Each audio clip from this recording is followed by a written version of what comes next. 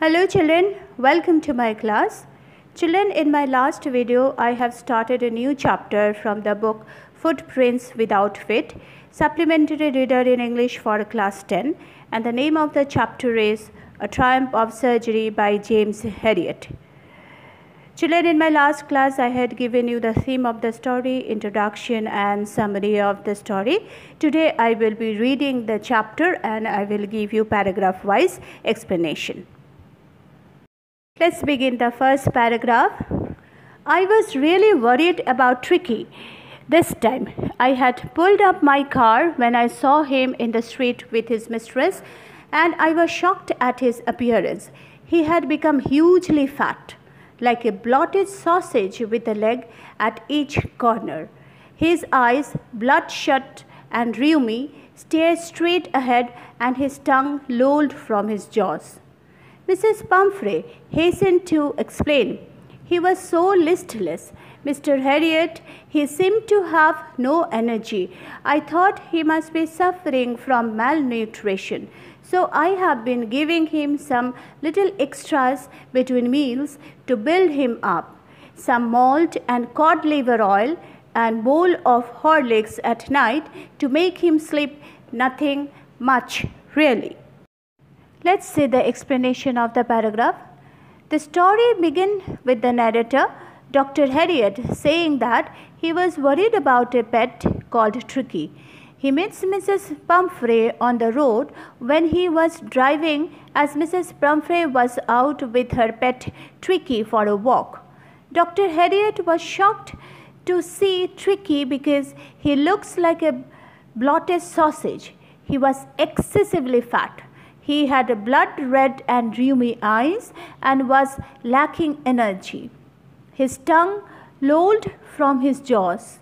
Mrs. Pumphrey said that she thought that Tricky was malnourished because he did not have any energy and excitement.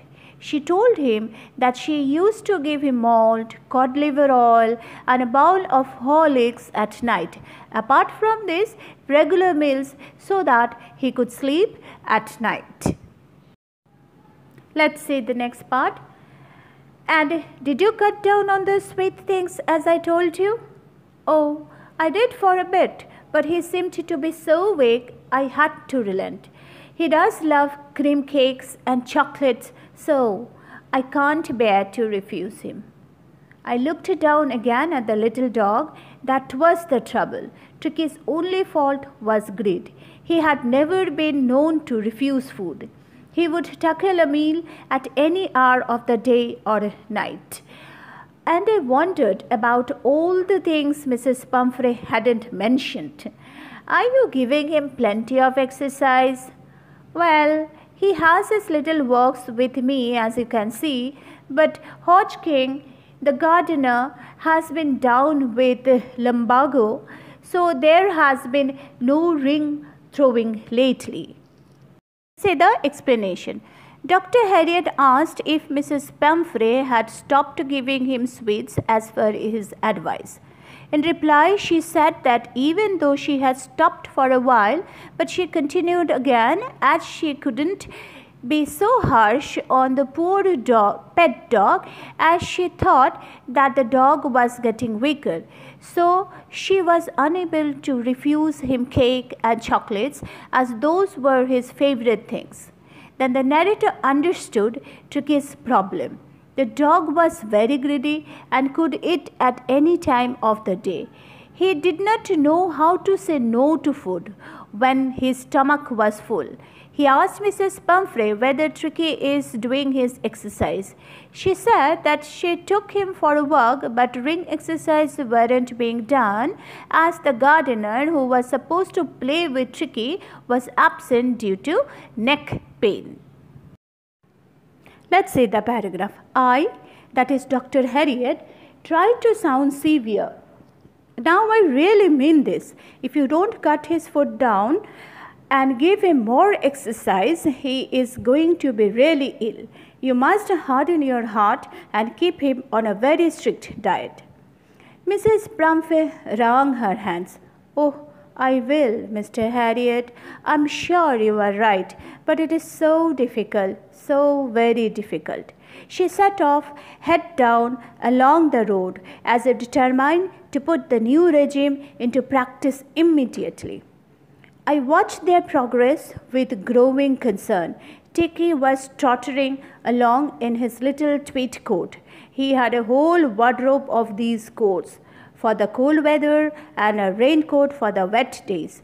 He struggled on, drooping in his harness. I thought it wouldn't be long before I heard from Mrs. Pumphrey. Let's see the explanation. Dr. Herriot advised Mrs. Pumphrey sternly that if Tricky's eating habit is not controlled and increased his exercises, he would soon fall ill. Mrs. Pumphrey accepted that although she knew that Mr. Herriot was right, but it was too difficult for her to refuse him for anything. She loves Tricky very, very dearly. Mr. Herriot was watching them go and looking at Tricky walking unsteadily. The narrator was also looking at the tweed coat that Tricky was wearing. He had a wardrobe full of these coats and also raincoat for the rainy days. Mrs. Pumphrey was a rich lady as she had a lot of money to spend on her pet dog her love tricky. Let's do the next part. The expected call came within a few days. Mrs. Pumphrey was distraught. Tricky would eat nothing, refused even his favorite dishes, and besides, he had bouts of vomiting. He spent all his time lying on a rug, panting. Didn't want to go for walks, didn't want to do anything. I had made my plans in advance. The only way was to get Tricky out of the house for a period. I suggested that he be hospitalized for about a fortnight to be kept under observation.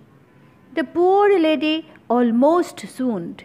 She was sure he would pine and die if he did not see her every day but I took a firm line.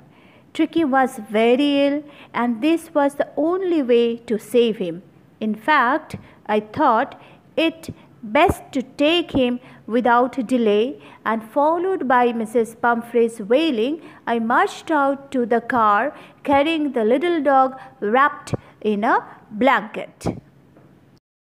Let's see the explanation of this part. Dr. Herriot knew very well that very soon he would get a call from Mrs. Pumphrey about Tricky's falling sick, and he was very true to his intuition as he got the call after a few days. Mrs. Pumphrey was very distressed as Tricky wasn't eating anything, not even his favorite dishes, and was vomiting frequently. He didn't even want to do anything. The doctor came with his plan to take Tricky away to the hospital immediately, as he knew that that was the only way to save Tricky, as he suggested to Mrs. Pumphrey that it would be good to take Tricky hospitalized and keep him under observation for 15 days. This made Mrs. Pumphrey nearly fainted as she thought that Tricky would die if he could not see her even for a single day. But the doctor assured her of Tricky's speedy recovery, and even though Mrs. Pumphrey was wailing because she did not want her dog to go away from her, he took the dog, wrapped it in a blanket, and put him in the car. Let's do the next part of the story. The entire staff was roused and maid rushed in and out, bringing his bed day, his night bed, favorite cushions, toys, and rubber rings, breakfast bowl, lunch bowl, supper bowl. Realizing that my car would never hold all the stuff, I started to drive away. As I moved off, Mrs. Pumphrey, with a despairing cry, threw an armful of the little coats through the window. I looked in the mirror before I turned the corner of the drive. Everybody was in tears. Out on the road, I glanced down at the pathetic little animal gasping on the seat by my side. I patted the head, and Tricky made a brave effort to wag his tail. Poor old lad, I said. You haven't a kick in you, but I think I know a cure for you. Let's say the explanation. All the servants and maids were woken up to get out of all Tricky's stuff. Dr. Herriot was surprised to see Tricky's stuffs, which included things like his daybed, nightbed, favorite cushions, toys, rubber rings, breakfast bowl, lunch bowl, and his snack bowl, etc. etc. Knowing that so much stuff was not possible to fit in his small car, he started rushing things. While the doctor was rushing towards his car, Mrs. Pumphrey threw a little coats that Tricky used to wear. While he was rushing his car on the turn, he saw through the rear mirror that everyone was crying. He patted the little helpless animal and he tried to respond by wagging his tail. Dr. Herriot told Tricky that he knew that he surely knew to cure him better. Let's do the next part. At the surgery, the household dogs surged round me.